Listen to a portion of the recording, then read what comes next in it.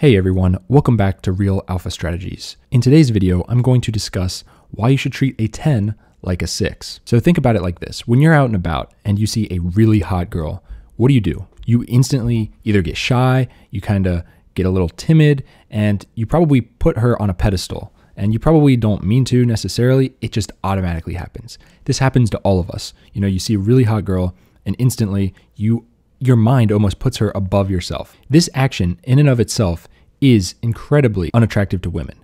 They want you to be above them, they want to earn you.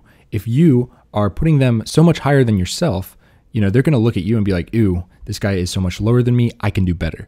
So you want to treat a 10 like you would a 6. This means you do not overly validate her. She knows how pretty she is. Trust me. Every other guy out there has been telling her how good she looks today. You also need to be super confident. You need to be just as confident with that 10 as you are with a 6. Once you're confident with that, you'll be much more smooth and she'll sense that vibe from you that you're confident, you've got your shit together, and this is attractive to women. So when you see a 10, the next time you're out and about, or a 9, or even an 8, if you know that's considered high for you, catch yourself, you know, idolizing her and putting her on a pedestal and treating her differently just because she's super attractive. Stop yourself and think back to this video and know that you need to treat her just like you would a six. Because when you're around a six, think of how much more confident you are. You're like, uh, I could take her, leave this girl. She's not that great.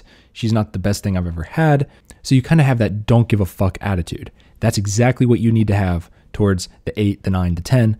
They will sense this. They will say, something's different about this man. He is confident, he is secure in himself, and he holds himself with confidence and frame. That is what a girl is going to find attractive. So Hopefully, this video helped you guys out. If you have any questions, drop them down below in the comments. Feel free to email us or check out our Patreon page.